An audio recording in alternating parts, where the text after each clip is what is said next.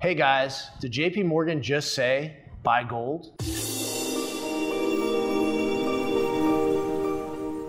The Fed has raised interest rates twice this year. They've indicated they're going to raise interest rates two more times. Typically, when you see interest rates go up, that usually uh, has a, a negative effect on the stock market, equities, and also the real estate market, which we're already starting to see.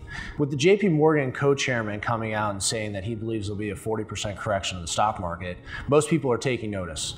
Uh, they're looking at different assets, they're looking to protect themselves. Most Americans that are young, uh, if they saw a 40% correction, they have time to recover.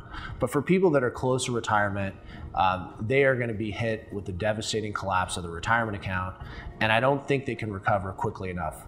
So, diversifying, which is something that we talk about here at Noble Gold, and getting in alternative assets to protect yourself, just like the collapse we saw in 2008, just like the collapse we saw in 2001, just like the collapse we saw in 1994 and 1987. Uh, history repeats itself.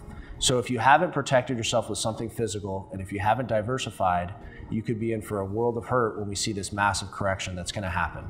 And most of our clients want to get something physical. That's why they're moving away from equities right now. They want to avoid that deep correction. They want to avoid that collapse of the retirement account, and they're looking for a safe haven. And that's why we recommend precious metals as a way to, to, to hopefully combat that deep and heavy correction.